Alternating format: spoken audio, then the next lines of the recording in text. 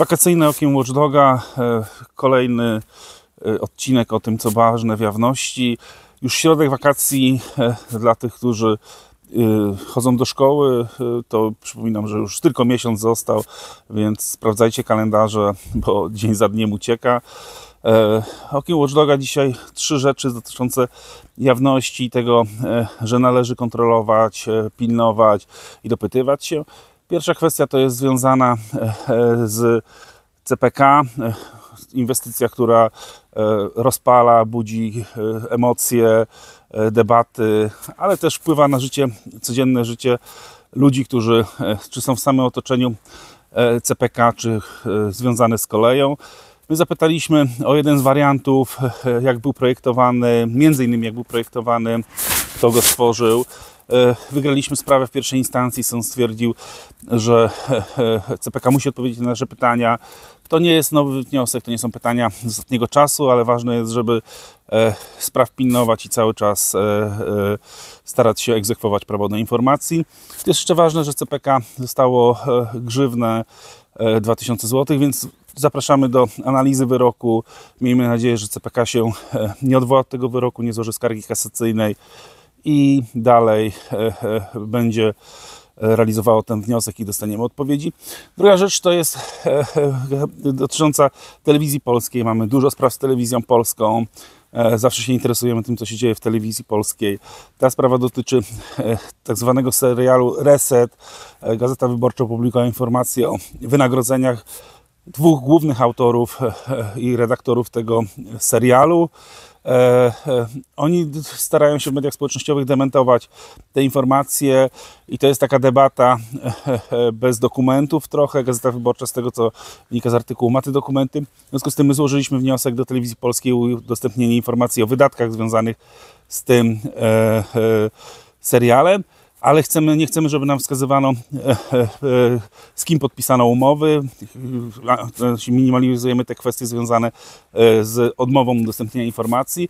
Natomiast to jest ważne w tej sytuacji, zarówno ci autorzy mogliby się zrzec e, tajemnicy przedsiębiorcy, jak i telewizja polska mogłaby oświadczyć, że w tym wypadku się zrzeka, żeby tak naprawdę e, doszło do sytuacji, w której e, możemy zobaczyć te informacje. Zatem dla debaty publicznej nie ma przeszkód, żeby obie strony powiedziały: OK, chcemy, pokażmy opinii publicznej dokumenty. Pewnie tak się nie stanie, zatem czekamy na odpowiedź na nasz wniosek i zobaczymy, co będzie dalej.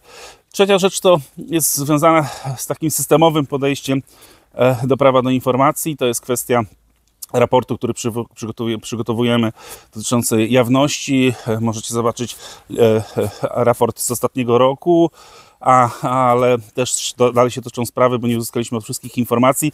Staramy się to doprowadzić do końca. To jest wyrok, w którym sąd stwierdził, i też wcześniej taką decyzję dostaliśmy, że w przypadku, w którym chcemy uzyskać informacje o tym, e, e, jaka była liczba wniosków, co się z nimi stało, e, jakie były decyzje odmowne, jeżeli chodzi o dostęp do informacji publicznej, no to sąd stwierdził, że po pierwsze jest to informacja przetworzona, a po drugie, że mimo, że tworzymy taki raport, działamy od lat na rzecz prawa do informacji, zapadł ostatnio wyrok Europejskiego Trybunału Praw Człowieka z naszej skargi, to sąd uznał, że nawet takie działania, w których pokazujemy, jak ważna jest informacja, uzyskujemy te informacje, przekazujemy dalej, sporządzamy raporty, analizy, to i tak nie jest to, e, nasze pytania nie są niczym, no właśnie w tym wypadku nie są niczym uzasadnione. E, nie jest to szczególnie istotny interes publiczny, zatem e, w zasadzie nie działamy na rzecz dobra wspólnego. Zdaniem sądu i te informacje nam się nie należą. Nie zgadzamy się z tym. Uważamy, że nie tylko my, ale wiele osób, które działa lokalnie, pokazuje rzeczy, które się dzieją, uzyskuje informacje, działa w interesie publicznym. W każdym tym wypadku powinny te osoby, tak jak my, dostawać informacje i e, sądy powinny stać po stronie jawności. To nie jest dużo e, e, pracy, żeby uzyskać, żeby dany podmiot, niezależnie jaki on jest, zgromadził informacje, jak wykonuje wnioski, co się z nimi stało, ile by było decyzji odmownych. No to jest podstawowe informacje dotyczące tak naprawdę funkcjonowania prawa do informacji i wiedzy o społeczeństwa o tym, co się dzieje w danym organie.